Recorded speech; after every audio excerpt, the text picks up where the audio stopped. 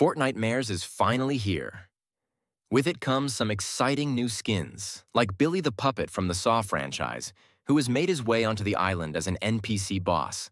Let's explore everything you need to know about finding him and the best strategies to take him down. Let's get started.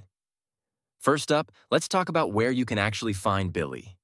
He's hiding in Freaky Fields, a new point of interest in the bottom left corner of the map, previously known as Reckless Railways.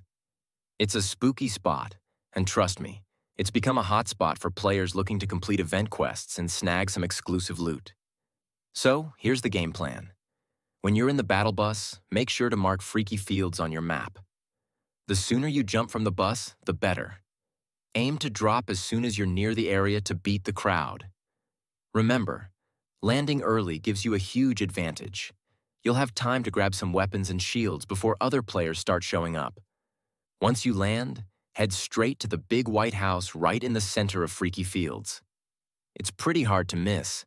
You'll find a TV inside that shows Billy's creepy face. Approach the TV and interact with it to summon him. But be ready.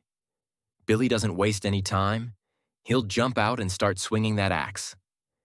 Now that defeated Billy, the loot you'll get is pretty epic.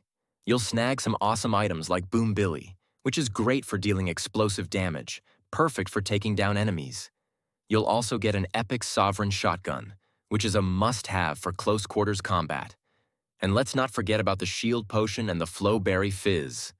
These items are crucial for healing up after the fight and keeping your health up for the next encounter.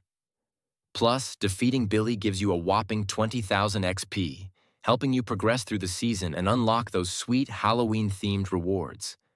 So, to wrap things up, Remember to clear out the area before summoning Billy. Be quick on your feet and secure your weapons first. Use those headshots for maximum damage, and don't let other players take advantage of you. With a bit of preparation and the right strategy, you'll be able to defeat Billy and enjoy all the loot and rewards that come with it. So, get out there, have fun, and embrace the spooky spirit of Fortnitemares 2024. If you found this video helpful, don't forget to like and subscribe for more Fortnite tips and tricks. Until next time, happy gaming.